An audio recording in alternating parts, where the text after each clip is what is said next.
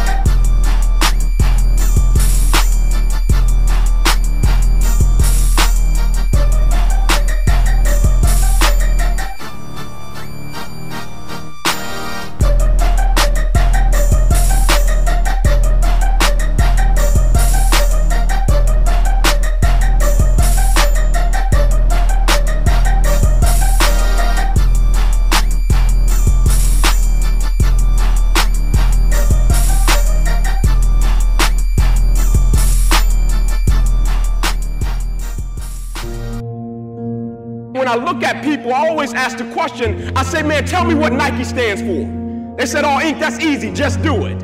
I said, tell me what Adidas stands for. Oh, Ink, that's easy, man, impossible is nothing. I said, now tell me what you stand for. When people look at you, do they think excuses? When people look at you, do they think victory? When people look at you, do they think that's a person that's gonna give me everything they got, not on some days, but on every day, and it's not gonna be predicated upon if I feel like it, because I think we all know if we only worked on the days when we felt like it, none of us would get much accomplished. You got to go out and show everybody that we're in the 757 because it's you against them. It's you against them. It's not Oscar Smith versus Highland Springs. It's 757 versus 804. So it's your weight room against their weight room. Your head coach against their head coach. And I know what the outcome of that already is. So the other outcomes better be the same. We got to go out, we got to play like it ain't no tomorrow because it's not. You only get one opportunity at a game like this. You don't get to come back dead, boy. You don't get to come back. You don't get to do it again, just done. This it, right here, right now. Set the tone for the entire state. We talk about it, now be about it. We from Missouri, show me state. Show them what time it is, what you gonna do, how you gonna do it, and do it repeatedly, over and over and over again. And like I always say about this time, if you scared, stay your ass in the locker room. I'm talking about the real level of commitment. Not the commitment that falls in line if everything goes right. I'm speaking of the commitment that says, I am going to stay true to what I said I would do long after the mood that I've set it in has left. See, most people, ladies and gentlemen, are stoppable. Most people, all you have to do is tell them no. All you have to do is make it inconvenient for them. All you have to do is make it difficult for them, and they'll stop. See, when you go to get your goal, don't think that all you have to do is think positive and everything's going to work out okie dokie for you. When you go to get your goal, you are sending a telegram to Murphy's Law to visit you personally. You thought you was just gonna have a dream and a goal, and you were just gonna wake up and just walk into the sunset. You're like, dream, boom. It don't work like that. You have a dream, and then life punks you. Life punks you and say, do you really want this? you gonna lose friends. Do you really want this? Do you really want this? Cousins gonna abandon you. People that you used to be like this with gonna think you bougie, don't wanna deal with you. It's a part of it, but I paid too much. If I was gonna quit, I would have quit in the abandoned building when I wanted to commit suicide and take my life. I should have quit when I heard my voice say, your mama don't want you, your daddy don't want you, take your life. I got through that, so why I'm gonna quit over F on a grade? Come on. And so I'm telling y'all, you have come too far to quit now. You have invested too much to quit now. You have lost too much to quit now. Don't cry about it. Don't whine about it. Get a reward for your pain. And so by being committed to everything that I started, I finished it. It built a certain type of spirit. It built a certain type of mentality. It built a certain type of individual. And so now I couldn't quit even if I wanted to. I couldn't stop even if I wanted to. I had too much sweat equity in my life and everything that I was doing. You're too close to quit now. You gotta take another lap. You gotta take another lap because you never know. This might be the one. You can't stop because you're tired. You can't stop because you got your feelings hurt. You gotta take another lap. Keep walking. Keep walking. Keep walking. You're gonna make it. You're gonna do it.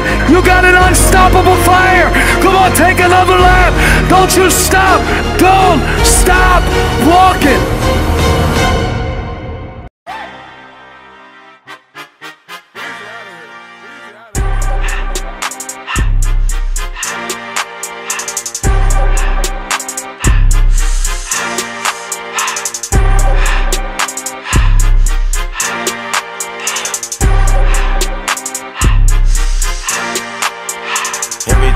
I love when it's hot. Turned to the city, I broke out the notch. Got some more millies, I keep me a knot. I created history, it made me a lot. He tried to diss me and any no faults. We call them chopsticks cause they gonna chop. Took her out of filers cause of pop. I run it like Nike, we got it on lock. Cardiac, I'm the boss man in a suit with no tie. I can't be sober, I gotta stay high. Pour me some syrup in the counter that's dry. Riding the special like Bunny and Clyde. Don't worry, baby, I keep me some fire. Shenanigans and burgers, she cannot decide. The ladies Mercedes here go to surprise. Don't sleep on Miss Lady, her pussy her pride. Digging her back while I'm gripping her sides. Digging back back, this ain't regular size. You really fly, we like pelican guys. She ain't slick, I can tell her skies. Upgrade at my wrist, put baguettes in the sky. She think I might sign her and change her whole life. I told her to goggle and work on her eyes. Everything litty, I love when it's hot. Turned to the city, I broke out the notch. Got some more millies, I keep me a knot. I created history, it made me a lot. He tried to diss me and any no faults. We call them chopsticks cause they gonna chop. Took her out of filers cause of pop. I run it like Nike, we got it on lock. Cash, money, drink, cash, and bang, bring them in singles. I don't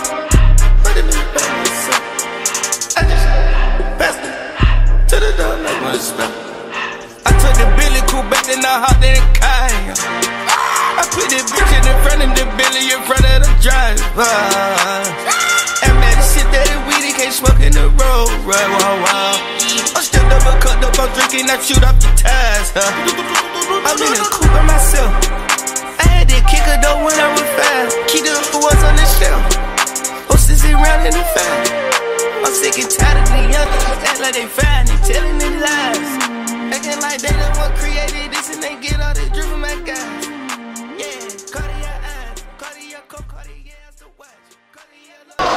So what's your name? Damon Harmon, class 2021, cornerback. All right. Uh, so tell me about your experience, your first, what, three games on varsity. What's been the transition from JV to varsity? Um, game pick up, it's like a whole lot faster than it is on Thursday nights. Um, with, with the crowd noise, with different play calls, like change the plays during, like pre-snap, pre-snap reads, all that just different, totally different. All right, so what, what separates yourself uh, from the other corners in the area? Uh, I feel like what separates me from the other corners is other corners talk about how good they are versus me. I don't talk a lot except in the locker room. Like I talk in the locker room, but other corners they try to make it known how good they are instead of working and trying to get better. All right, what would you say your top three traits are as a defensive back? Uh, I can come up and tackle. Uh, I can cover great, obviously. And I just feel like I can do a lot that other people can't, like with my length and stuff like that. All right, so you're ranked in the state, right? Yeah. What are you ranked right now? Uh, at corner number two in the state. All right, number two in the state. What is it going to take for you to get to that number one position in the state at cornerback? Oh, I feel like I just had to work harder. Um, nothing gonna be handed to me, so just keep on working. All right. Current, um, you're what, what class again? 2021. 2021. All right. You got a few current offers already, right? Yeah. All right. You have what, maybe five, six, Seven. seven Division One offers. Well, I have six Division One offers and one Division Two offer. Okay, cool. Now, what do you think is going to take for kind of more schools to take notice of you? Like, what, what do you think you need to excel a little bit more on the field for them to really take notice of you? Tackling.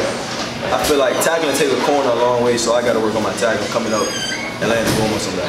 Now, are there any cornerbacks or defensive players in general on varsity right now that you kind of work closely with to help mold your game or help your game pick up?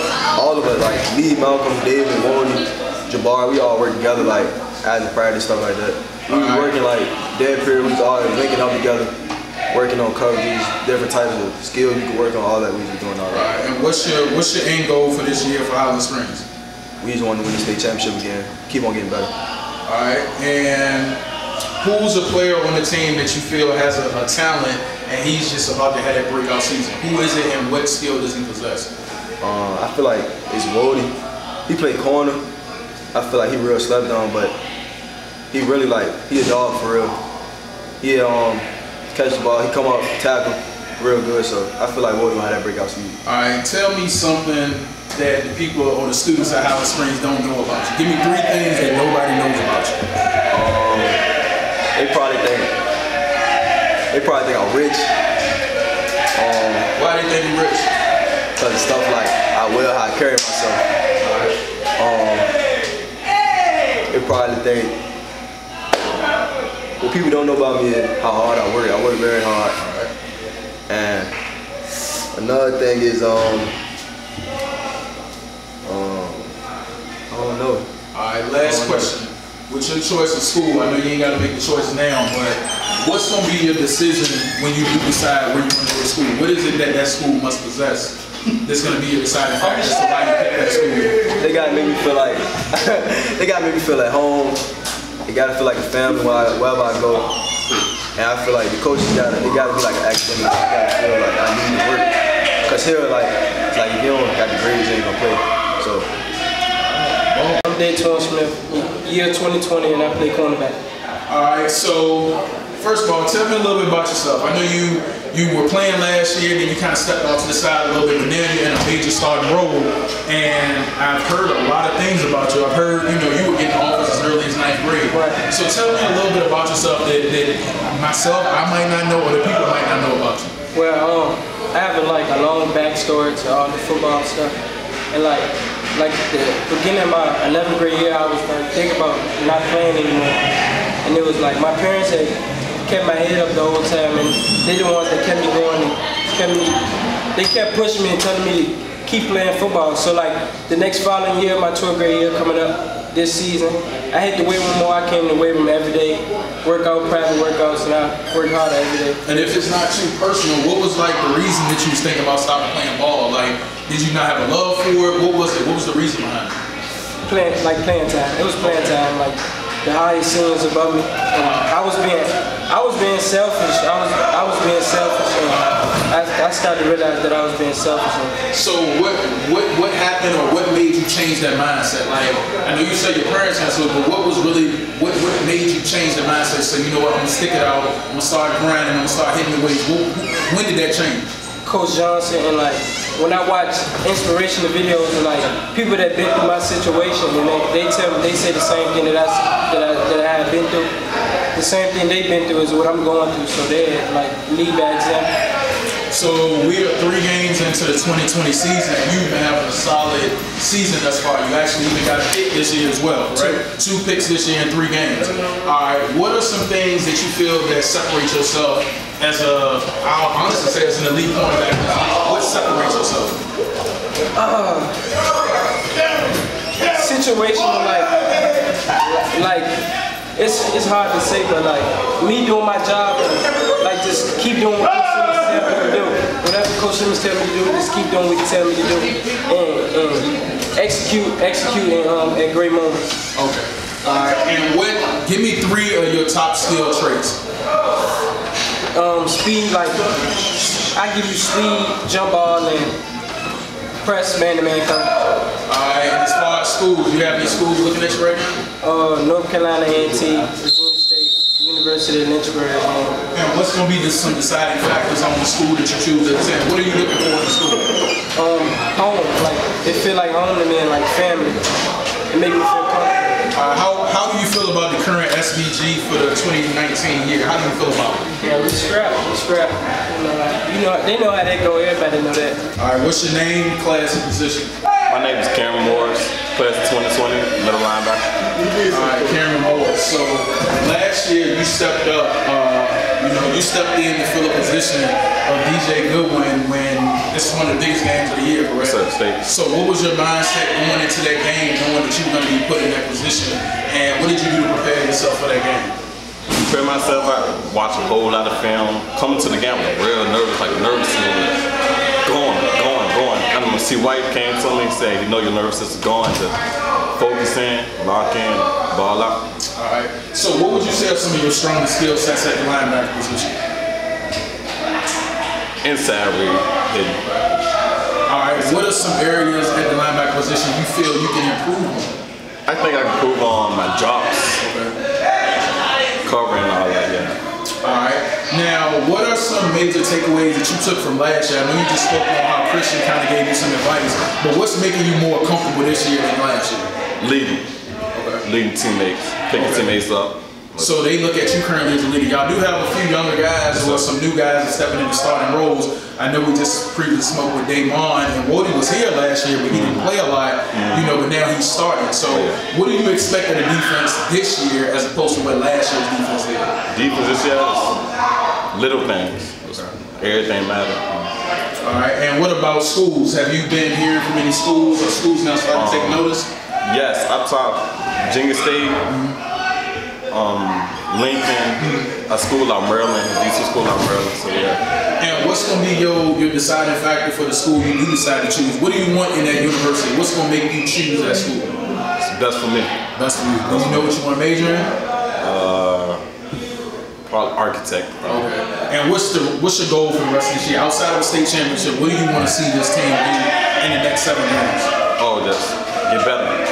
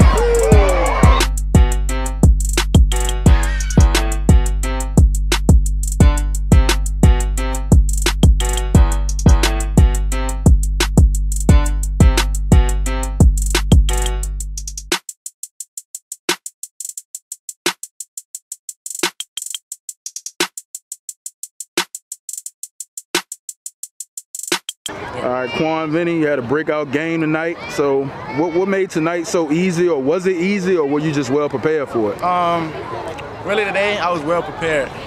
Today I was, all day in school I was real focused, not talking a lot. Chill, norm, chiller than what I'm normally am. Um, we had a hard week of practice, Coach Jay just said, whenever you get your chance, execute. And since the first game, I've been waiting to be my chance so I can be able to execute. Every time I touch the ball today, I felt like I needed to execute, and I felt like that's what I did. So were you always that explosive? Do you prefer uh, kickoff? Like what made it? What made tonight so special with you on the kickoff? Um, with kickoff, it really started with T-Man, to be honest. So shout out to him. Um, just watching him, I played back there with him, so just watching him, watching little stuff that he did, just helped me with my kickoff and kick and punt return stuff. So like, just being explosive. I'm not. I wasn't really explosive, but over the summer working on my speed, watching some of the stuff he do, just when you see the hole, I just tried to hit it as best as I could. All right, and I see they threw you in at defensive back. When did that come about, and what was the reason for you now getting some snaps at defensive back? Um, that started after the first scrimmage. Um, I always played DB, but today, I mean not today, but like after the first game, um, it started because they felt like, um, well, they know that I can come up and make tackles in the box. I play Springer. That's our strong safety, so they felt like I could come up, make tackles, make big plays, and fill a spot behind Malcolm Green. All right. So with that being said, do you prefer the offensive side of the ball or the defensive side of the ball? Offense always. All right. Definitely. All right. And what you expect uh, next week? Y'all actually go out of town. Y'all go to North Carolina. What's the uh, the team's goals for this week, and what are you going to do prepare for the uh, game in Greensboro? Uh, team goal is same thing as always. Just go to practice, practice hard, work hard, run hard, and then prepare hard, get ready for the game. And when we get to the game and get in the game, just execute. All right. You think you can outdo what you did tonight next week? Definitely, there's always room for improvement, always room to get better. All right. Got anything to say for the camera? Um, shout out Capturing Reality. Let's All go. right.